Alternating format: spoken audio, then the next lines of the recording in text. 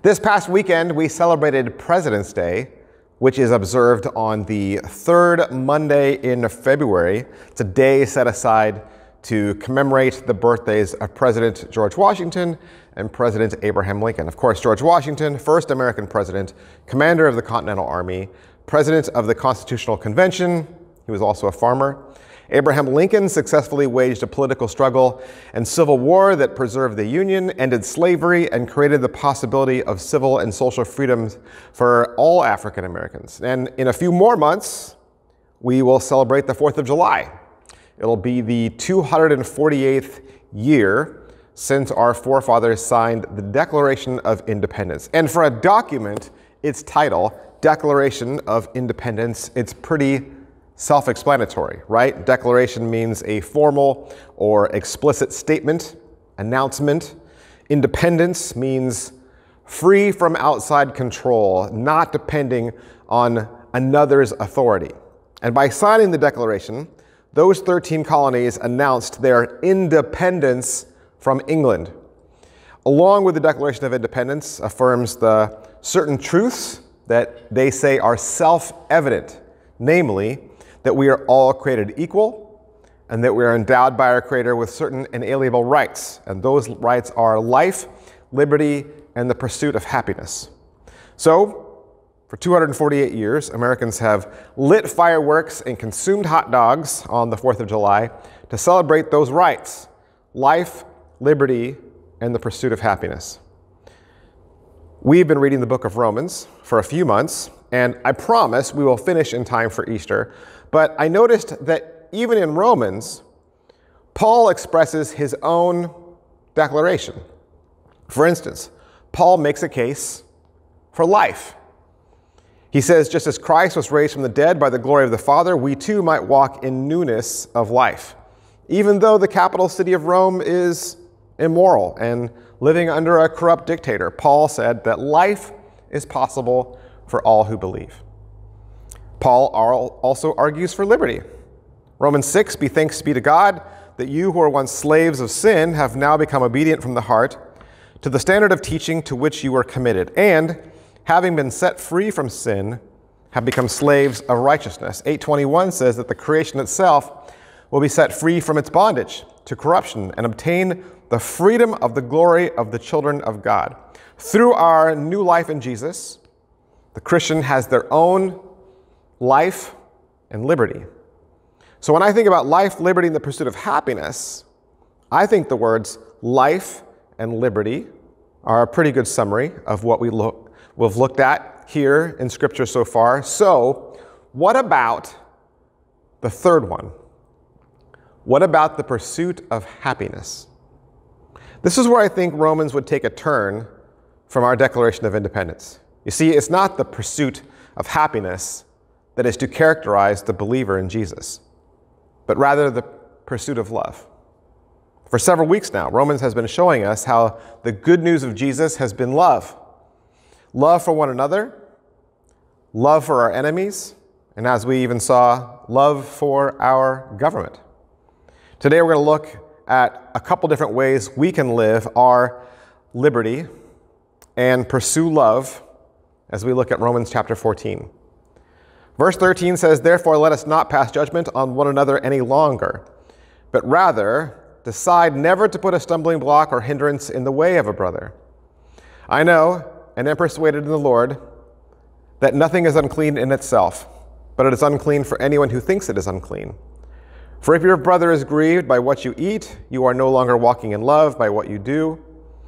Do not destroy the one for whom Christ died. First thing we notice Paul asks that we pursue unity and not division. Here, Paul gives an example of eating certain types of food. One Christian believes it's okay to eat bacon, and the other Christian is wrong. but this example does not have to be limited to just food. There are lots of things that Christians have opinions about. That's why we have so many different denominations 33,000 at last count. Now, granted, most of those denominations have fewer than 100 members, but it illustrates my point. The issue back in Rome was over kosher food and holidays? Should Christians only eat food that's defined by the Old Testament, like the laws of Moses? Should Christians continue to observe the Jewish Sabbath, Jewish Passover? And it's completely understandable. Some Christians who were Jewish couldn't imagine worship unless they followed those practices. So their spiritual liberty was narrow because it excluded things that were perfectly fine to do. They were free to do. However, the Greek Christians in Rome had no problem eating all kinds of food, worshiping on any day of the week, and they felt no need to celebrate Passover or any other Jewish holiday. So there is tension about liberty and what we are free to do. Our men's Bible study has been discussing sin for a couple of weeks, and the question came up was drinking alcohol a sin? And I'm sure you know some Christians that do not drink at all. My wife has a t- tattoo on her ankle, and there are some Christians who believe that it is sinful. You know, Leviticus 19 says, Do not cut your bodies for the dead or put tattoo marks on yourselves. Some Christians don't swear. Ephesians 4 says, Do not let any unwholesome talk come out of your mouth. And so what happens? You're out, you know, for brunch with your believer friends, and you notice a woman who you thought was a fine, upstanding person of God, and she has a, a tattoo. And she orders a mimosa for breakfast. And, and she's looking for her phone in her purse and she mutters an expletive that makes your toes curl. That's got to be way worse than eating bacon, right? Not to a Jewish person. The Jewish people believed breaking the food laws and the Sabbath laws violated their vow to God. No different than you violating the sanctity of marriage. So when the Jewish Christians saw Greek Christians eating non kosher food and uh, not observing Sabbath and festivals, they would gasp in horror. Because in their mind, that meant unfaithfulness to God. But look at how Paul begins this chapter. As for the one who is weak in faith, welcome him, but not to quarrel over opinions. Paul calls some of the church of Rome strong in their faith and others weak in their faith in this area of food and holidays. Now, does that mean that the strong in faith are better Christians? More Christians? More saved? No.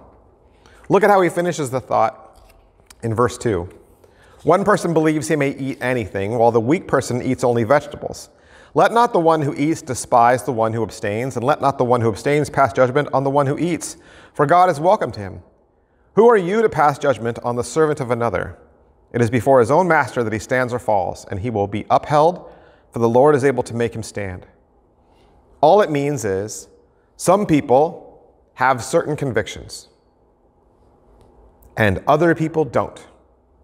Are, are these heaven or hell convictions that save us or condemn us? No, Paul is not talking about doctrine or issues of morality, just differences of opinion and how to best apply a biblical teaching. And notice Paul doesn't argue and say one is right and one is wrong. And he doesn't try to tell one group that they need to change. He is arguing here that these two groups pursue love rather than their own personal happiness. Let's read another section, the one we read before.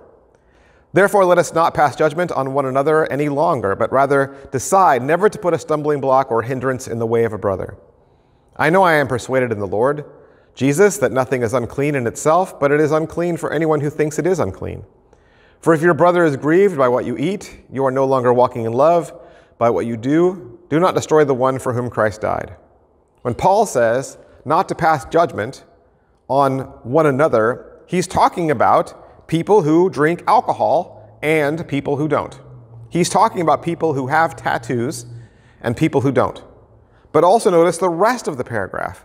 He takes it even further than just judgment.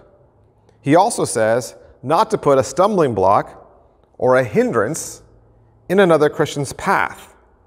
In verse 15, he talks about the weak in faith as being grieved because of the behavior of the strong in faith. And that when the strong in faith parade their liberty, they are at risk of destroying their Christian friend. Why does he say this? Because there is a relationship at stake. Again, I think Paul is repeating something that Jesus taught. Jesus says in uh, Matthew 15, Hear and understand, it is not what goes into the mouth that defiles a person, but what comes out of the mouth that defiles a person. So Paul is saying that all Christians need to agree or it'll destroy one another. No. Because to be honest, I don't think you'll ever get two Christians in the same room to agree on all the same issues. But what Paul is saying is we still need to get along. Look at what Paul writes to the church in Ephesus. With all humility and gentleness, with patience, bearing with one another in love, eager to maintain the unity of the Spirit in the bond of peace. There is one body and one Spirit, just as you were called to the hope that belongs to your call. One Lord, one faith, one baptism, one God and Father of all, who is over all and through all and in all. What is unity? Does it mean you agree with everyone in your church on everything? Does it mean that you guys all love pizza? You guys all hate pickles? You all watch the same TV shows? You all root for the same uh, college teams? You all like the same music? Of course not. We're all different. And that's great.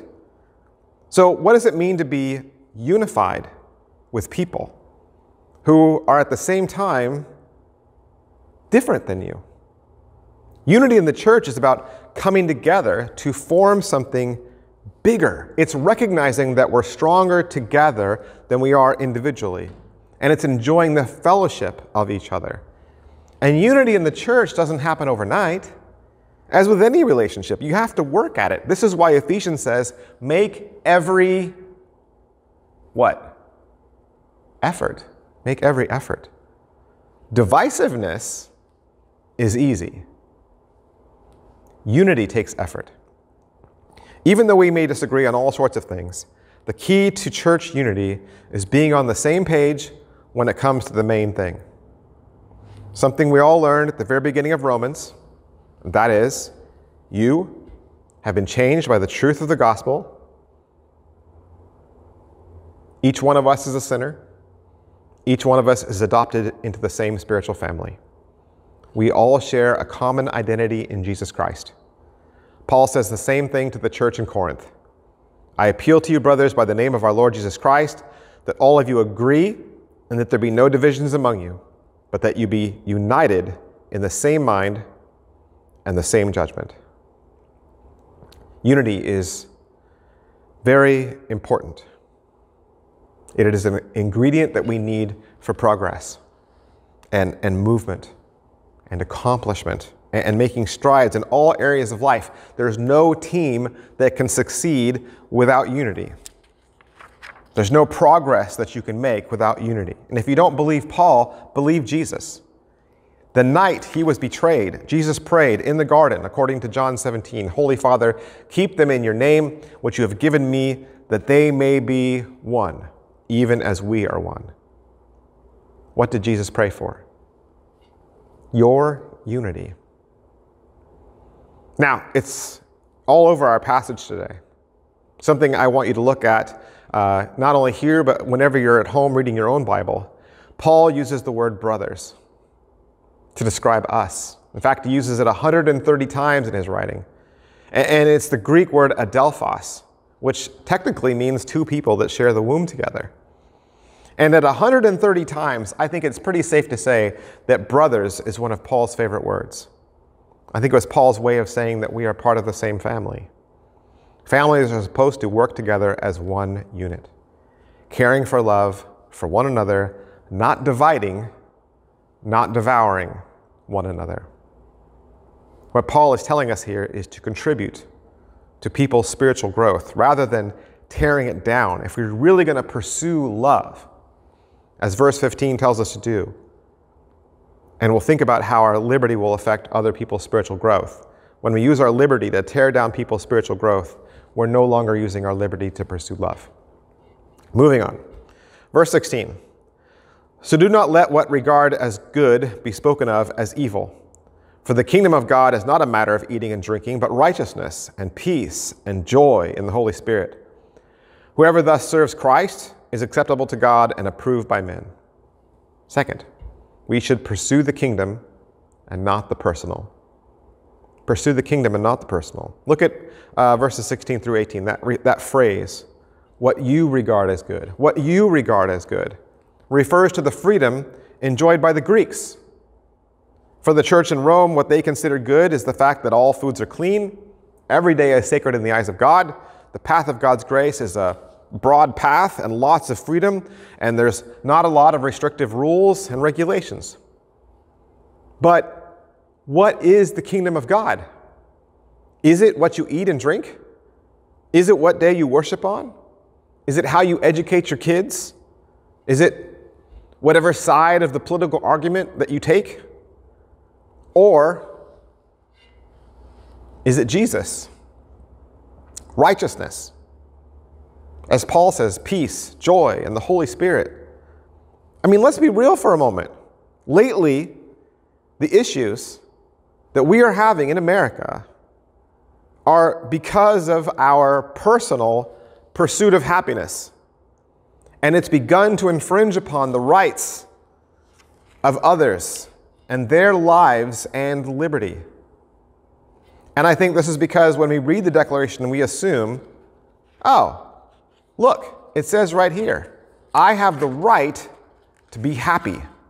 I have the right to chase after things that make me happy. That's got to be what pursuit of happiness means. And so happiness then becomes about preference and pleasure. But what ends up happening is that by chasing after our own happiness, we trample on the happiness of others. So that can't be what the Declaration is saying. I don't believe that when the writers of the Declaration sat down to write this, they meant to imply just do whatever feels right. Or if it makes you happy, do it. The pursuit of happiness is listed as a inalienable right. In other words, it's a thing that you already are. And it's listed as a thing the government ensures for all, not some. So if happiness is equal to life and liberty, as the Declaration seems to imply, then we are not dealing with momentary pleasure or, or personal preference of, of an individual or, or, or of a group, which means the pursuit of happiness is not about my happiness. It's about the happiness of all citizens. And Paul makes the same point in Romans. Paul says it's not about eating or drinking. That would be our personal beliefs, right? Our happiness. Instead, he says, no, it's about righteousness. What is righteousness? Well, that's being right with God. That's what God's kingdom is all about. Helping people be right with God, living in unity with each other, and experiencing the joy that comes from having the Holy Spirit among us. When we pursue the kingdom, our service to Jesus is pleasing to God. And it's vindicated in the sight of people, even people who disagree with us. God's kingdom isn't about what you eat or drink, and it's not about what day of the week you celebrate. It's about righteousness and joy and peace in the Holy Spirit. And before a disagreement breaks out, before we all raise our hand and say, Well, I think we should do it this way, we should consider why we are doing it. Is it to pursue the kingdom or to pursue the personal? And then he says in verse 19, So then let us pursue what makes for peace and for mutual upbuilding. Do not, for the sake of food, destroy the work of God.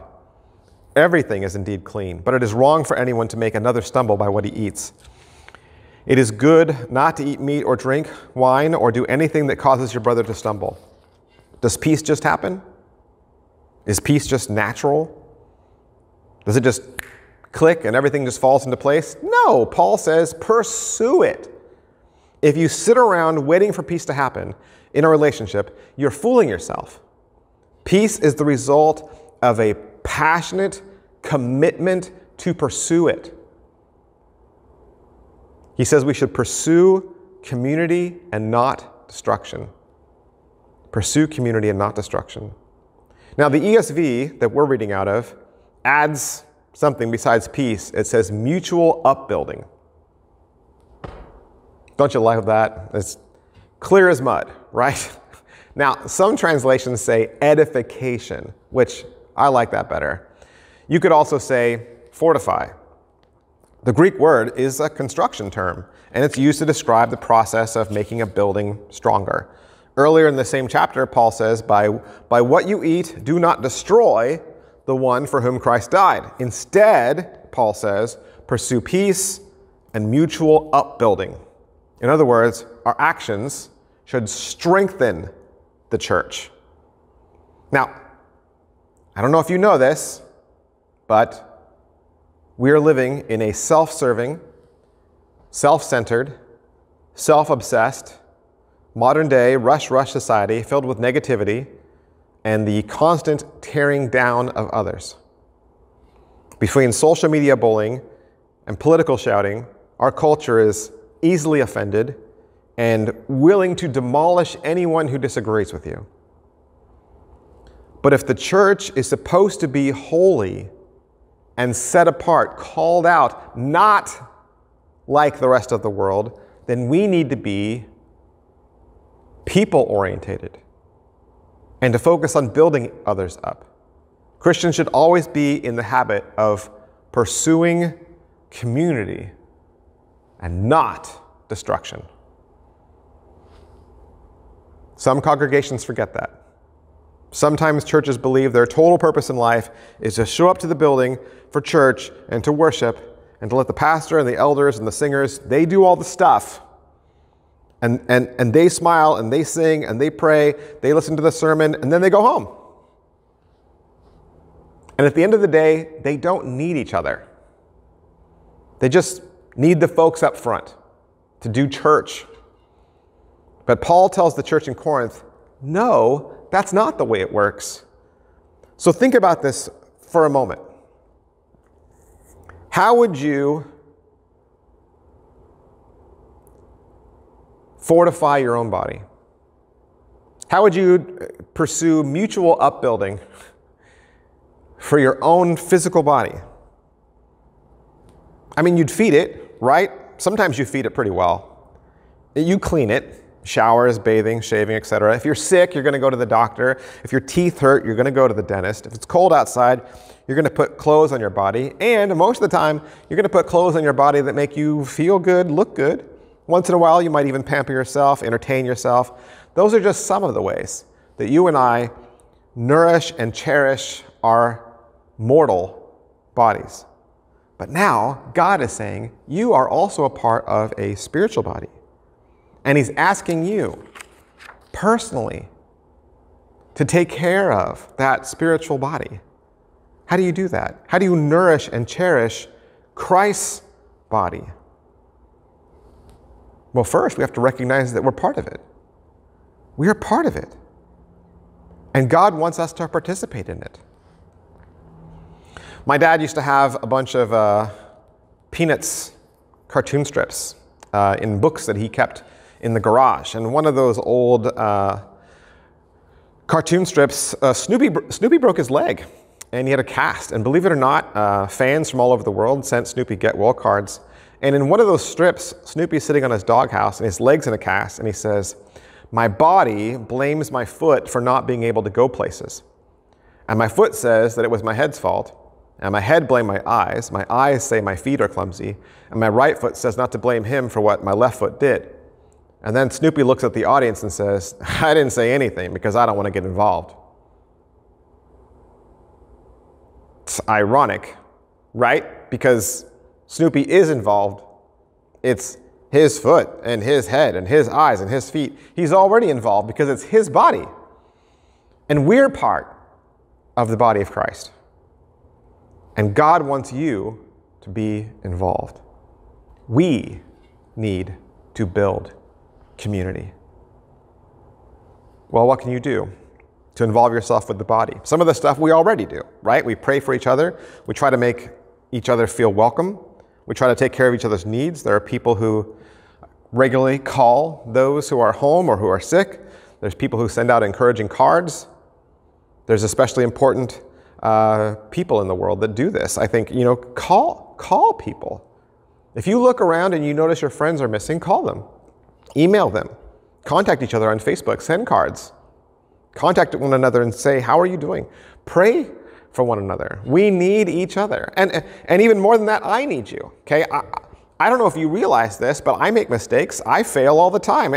Every preacher worries that they're going to miss something or forget to call someone or not contact a person who needs to hear from them. And, and I'm just as prone to fail as the next person.